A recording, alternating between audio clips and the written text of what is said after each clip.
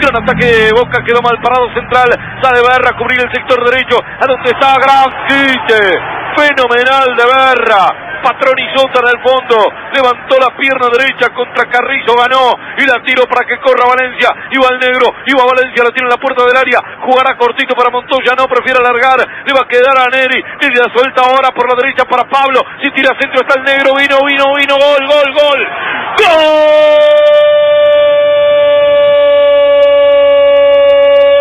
canalla, gol. ¡Gol! Valencia. El trencito. El tren del cielo se elevó Valencia y de cabeza martilló un centro perfecto de Becker desde la derecha. Café, café. Central 1, Boca 0 en la bombonera. El colombiano José Adolfo Valencia a los 44 de cabeza pone arriba el canalla.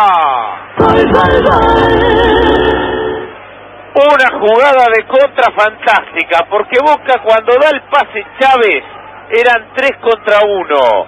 Se lo deben a Carrizo, lo van a seguir conociendo al Pachi Carrizo.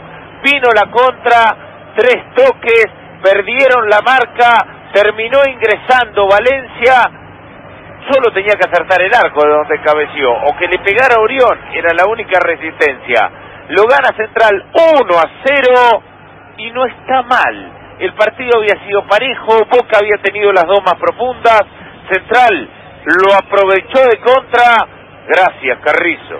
Es el gol 11 de José Valencia en el fútbol argentino, cuarto en este torneo. Con este resultado, Central llega a los 16 puntos.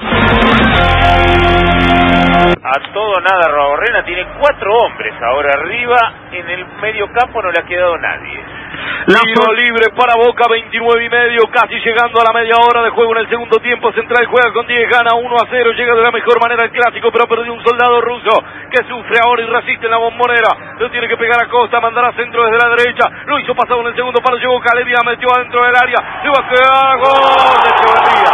Gol de Boca, Echeverría, solitario en el segundo palo. Se veía venir, ¿qué quiere que le Boca iba con todo, bajaron la pelota dentro del área y Echeverría la pelota fue pasada al segundo palo, la bajaron otra vez para el mismo sector de donde habían tirado el centro. Solo Echeverría, eh, créame, sin marca llegó para meter un curvazo y a justiciar al pobre Caranta desguarnecido que intentó hacer lo que no pudo. Boca lo empata, media hora del segundo tiempo, Central 1, Boca 1.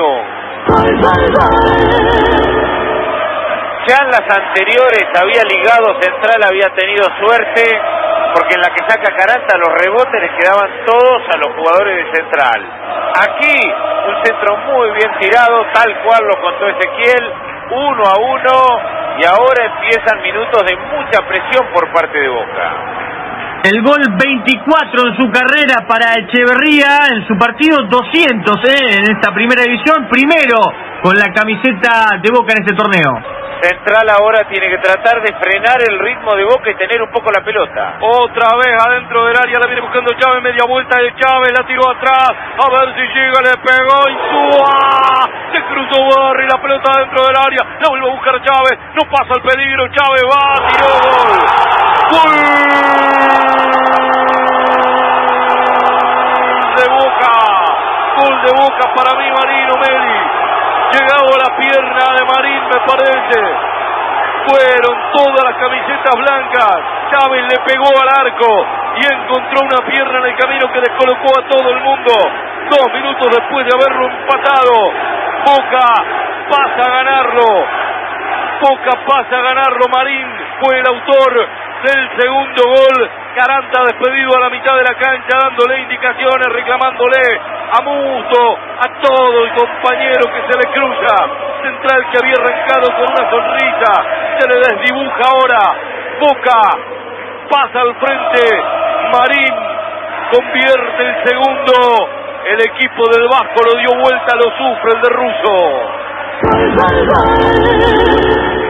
Y decíamos que tenía que sacarle ritmo a Boca, porque se le vino encima suceden las situaciones, Boca con cinco jugadores dentro del área, ahí ya está jugando a todo nada. El anterior lo había salvado Gigliotti. ¿Qué fue lo que puede decir Caranta? Gonzalo salió enojadísimo. Enojadísimo, primero con Musto, después con los zagueros centrales. El arquero entiende que tiene total libertad. Los delanteros en el área, canalla. Segundo gol de Marín. Segundo gol de Marín, primero en este torneo con este resultado. Boca se va a 17, Central se queda en 13.